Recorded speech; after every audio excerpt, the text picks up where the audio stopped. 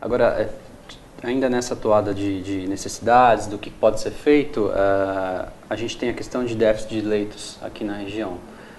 Qual que é o tamanho da, desse, desse déficit e o que, que está sendo feito regionalmente?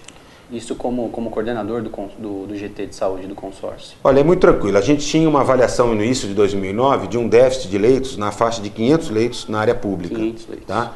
É, usando os indicadores clássicos de planejamento em saúde. Nós temos uma oferta extremamente importante nesses últimos três anos aqui na região. Tá certo? Algumas já concretizadas e outras não.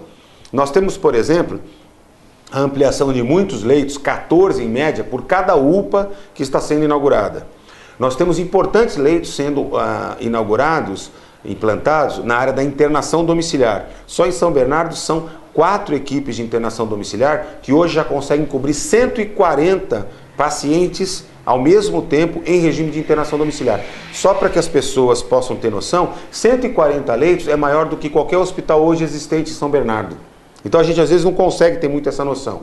Nós temos o Hospital de Clínicas, nós temos o novo Hospital de São Caetano, nós temos o Hospital de Ribeirão Pires entrando em funcionamento. Eu acredito que do ponto de vista do, da quantidade de leitos, nós chegaremos a 2014, 2015 muito próximo, em particular se essa área de retaguarda, que hoje nós atribuímos como uma função do governo do estado e que o ministro apontou bem isso. no evento que teve em Mauá. Se isso for efetivamente concretizado, as 17 UPAs programadas para a região forem implantadas, a expansão da internação domiciliar e se forem concretizados o HC de São Bernardo, o Hospital de Ribeirão Pires, o Hospital de São Caetano, efetivamente nós entraremos num ponto de equilíbrio para o setor público. Aí nós temos um problema adicional qual que é esse problema? Que é a maneira com a relação público-privada, né? Os planos de saúde, a iniciativa privada uh, no ABC ainda vem num processo de, como é que eu chamaria, simpaticamente de profundo parasitismo em relação ao SUS, né? Eles observam o nicho de, de mercado, aquelas áreas realmente vantajosas e acabam, em, muito, em muitos momentos, transferindo para o SUS a responsabilidade. Então, nós vamos ter que ter capacidade de exercer também sobre o setor privado uma regulação efetiva para que ele cumpra o papel de quem vende no mercado planos de saúde, ou seja, oferece a saúde como uma mercadoria, mas não quer entregá-la como uma mercadoria feita com qualidade. Doutor Arthur, você citou é, agora há pouco 17 UPAs estavam Isso. programadas para serem construídas aqui na região. Qual é o panorama dessas UPAs? Quais que estão prontas? Quais as cidades já têm e quais estão programadas ainda para serem instaladas aqui na região do ABC? Olha, em 2009, em agosto de 2009, o Ministério da Saúde fez um chamamento público e todas as cidades puderam ah, pleitear a participação nas UPAs. Né? Nós em São Bernardo pleiteamos nove. Nós já inauguramos seis, vamos inaugurar a sétima agora no mês que vem e duas estão em construção. É, então nós já temos seis inauguradas. Três até julho nós devemos já ter concluído.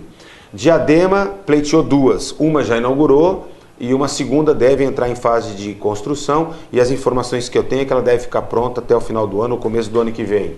É, Mauá, das quatro que foram autorizadas pelo Ministério da Saúde, duas já foram inauguradas, outras duas estão em conclusão. Em conclusão.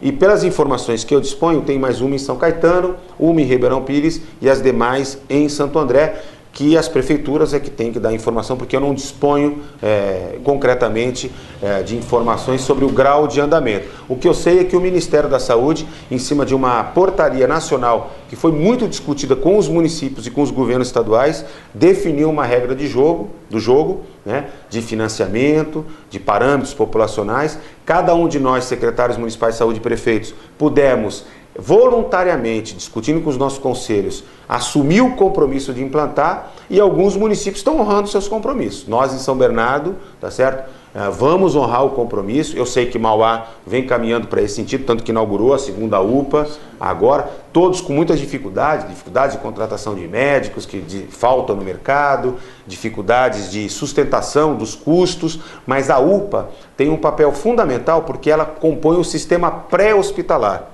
E se ela não for organizada na região, não tem sistema hospitalar que dê conta, porque a demanda. Tanto que os jornais da região né, noticiam o seguinte: que Mauá caminha para resolver o problema histórico do Nardini. E é verdade. Se a rede de UPAs de Mauá funcionar e tiver estruturada, o Hospital Nardini vai poder passar a cumprir um novo papel para o sistema de saúde, não só de Mauá, mas também de Ribeirão Pires e de Rio Grande, do qual ele é referência. Assim como, por exemplo, é o caso do Pronto Socorro Central. É a unidade mais problemática que a gente tinha na cidade. Ele Bernardo. ainda continua sendo em São Bernardo, mas já há efetivas mudanças é, em função da rede de UPAs que nós estamos estabelecendo na cidade e que, uma vez completa, ela muda consideravelmente o papel o perfil assistencial, a função que esse pronto-socorro vai exercer dentro do sistema de saúde da nossa cidade e da nossa região. E a gente torce, né, doutor, para que a questão político-partidária não acabe atravancando né, a instalação de uma UPA, por exemplo, porque é uma unidade que vai beneficiar a população, seja qual for a preferência pois é. política. Pois é, Rafael, olha, o Ministério da Saúde disponibiliza os recursos, dependendo se ela é tipo porte 1, porte 2 ou porte 3, tem regras diferentes, mas o Ministério tem honrado o dinheiro para investimento, ele não é suficiente para construir tudo. A secretária de Diadema me disse que com muito esforço eles conseguiram, como Diadema não tinha recurso, a UPA que eles inauguraram, eles praticamente usaram só recurso do Ministério da Saúde, uma maravilha para Diadema, nós não temos conseguido fazer isso em São Bernardo, né?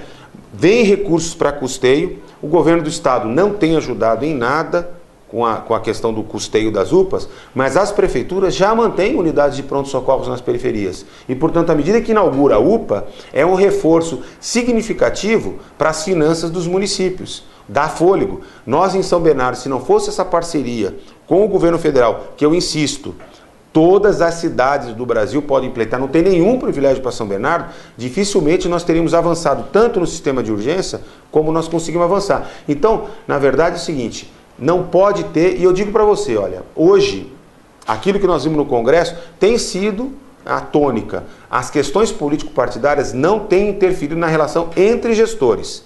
Mas é claro que definem as opções que cada governo autonomamente faz, e aí cada governante vai ser responsável com a sua população daquilo que fez ou deixou de fazer do ponto de vista da política de saúde, como de qualquer outra política pública. a gente torce para que isso se torne, se torne uma tendência, então. Bom, só para finalizar o nosso bate-papo, doutor, é, um dos pontos mais falados nos últimos anos em São Bernardo foi a necessidade da construção de um hospital de clínicas, um hospital municipal. Isso parece que finalmente está saindo do papel né, na atual gestão.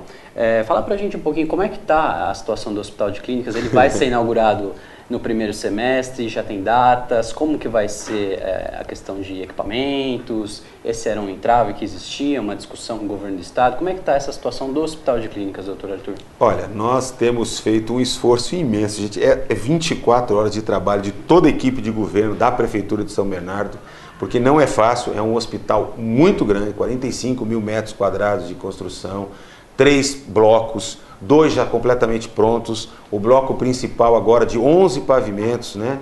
É, já numa fase bastante avançada de construção. Nós temos uma previsão de inauguração da primeira fase de funcionamento do hospital na primeira semana de julho. Né?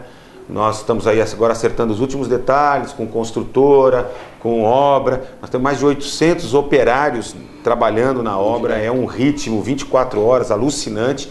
Né? Estamos tentando acertar a agenda da presidenta Dilma para ver se é possível compatibilizar para que ela possa participar do ato de inauguração do nosso hospital de clínicas, mas objetivamente, o hospital, até por uma questão de planejamento, de prudência, ele vai entrar em funcionamento em fases.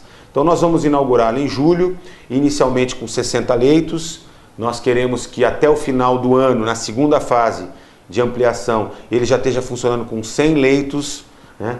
para que ele possa, ao final de 2013, ou seja, um ano e meio depois da inauguração, ele chegar à plena capacidade de operação prevista entre leitos de internação é, e leitos operacionais, 60 leitos de UTI, leitos de hospital dia, leitos de recuperação anestésica, chegar a 293 leitos. Então é um equipamento de altíssima complexidade. Nós ainda estamos aguardando a manifestação do nosso governador, o nosso prefeito Luiz Marinho tem feito muitas tratativas com ele. As sinalizações são muito positivas. Nós esperamos aí nos próximos dias uma comunicação oficial do governador uh, para que a gente tenha a perspectiva da participação do governo do estado também pelo menos em parte, né, não a parte mais importante, mas uma contribuição importante no financiamento. Isso é legítimo, porque não é um hospital para a cidade de São Bernardo, é uma cidade para a região. Então nós esperamos que o governador Alckmin é, nos dê essa boa notícia, ainda que os recursos não venham imediatamente, todos eles todo o recurso que foi pleiteado por São Bernardo numa única leva, mas que a gente possa ter. Então vamos aguardar é, o que eu, eu, todos os dias eu pergunto para o prefeito Luiz Marinho e todos os dias ele me diz calma que o governador vai dar uma manifestação e a gente espera que seja positivo. Nós estamos aguardando. O prefeito está fazendo a sua parte. Né? Colocou os recursos municipais, está negociando com o governo federal, negociando com o governador, tentando uh, desmontar qualquer possibilidade de ser tratado como uma questão política, partidária. Acho que o governador também tem isso muito claro, é uma pessoa muito séria, né? não pode tratar a questão da saúde na nossa região como uma questão eleitoral, não poderíamos imaginar que isso fosse possível, e portanto a população de São Bernardo do ABC, eu acho que pode ter a mesma expectativa que eu tenho, que é positiva. Né? Rafael já me pergunta isso há muito tempo, e eu sempre digo para ele assim: eu só posso esperar que o governador do nosso estado nos ajude. Né? Com os nossos recursos, são os recursos públicos. E eu vou continuar acreditando que isso vai ser possível. Legal, tomara. Bom, pessoal, hoje nós recebemos o Dr. Arthur Quioro, secretário de Saúde de São Bernardo e coordenador do GT de Saúde do Consórcio Intermunicipal. Doutor, obrigado pela presença. Eu que agradeço.